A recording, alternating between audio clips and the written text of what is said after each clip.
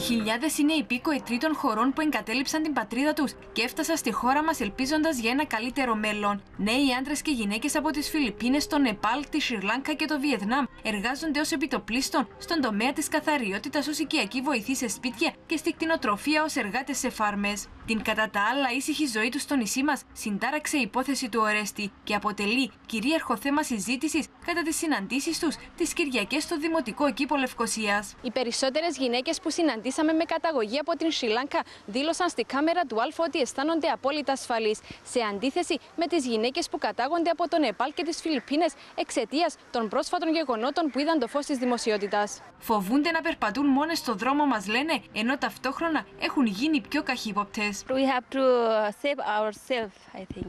Scared when we are alone at home. We are scared. Do you feel safe; after all this happened with the Filipino girls? Uh, in my employer, I'm safe because uh, they protect me also. And if you are in the street or at night, do you feel Uh, safe? yes. No, no. If I walk, uh, I go outside like that with my friends, not alone, because I'm afraid now. 70%.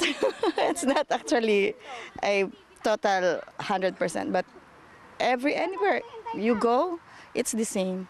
So you have to be be careful. Υπάρχει όμω και η άλλη όψη του νομίσματο, με περισσότερε αλλοδαπέ εργαζόμενε να δηλώνουν πω είναι ευχαριστημένε από του Κύπριου εργοδότε του. I'm working to my employer is really nice.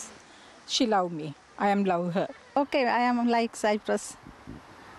Uh, Very good Cyprus people.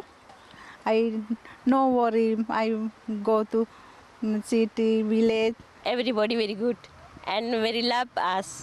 Also us love Cyprus people. Παρ' όλα αυτά, ένας σημαντικός αριθμός εργαζομένων από τρίτες χώρες πέφτει θύμα ρατσισμού, εκμετάλλευσης και σεξουαλικής παρενόχλησης, περιστατικά που συνήθως δεν καταγγέλλονται στην αστυνομία.